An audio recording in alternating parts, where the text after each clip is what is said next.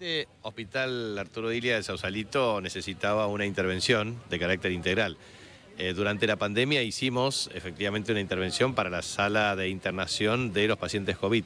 En consecuencia se hizo una ampliación. Ahora la parte de la infraestructura edilicia antigua eh, tuvo que intervenirse en forma integral, para lo cual nos queda solamente piso y después eh, resolver el tema de una etapa final que implica sala de parto y también eh, sala de cirugía.